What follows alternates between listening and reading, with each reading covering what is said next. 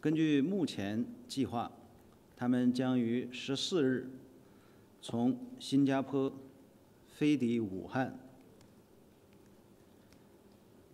如果有进一步的消息，中方愿与大家分享。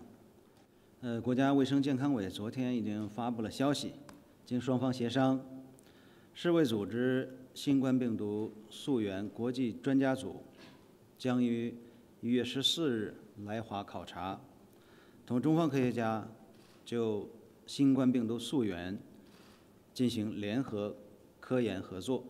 我们已经多次重申相关的立场。新冠病毒溯源是一个科学问题，需要科学家经过细致严谨的研究之后，得出经得起检验的科学结论。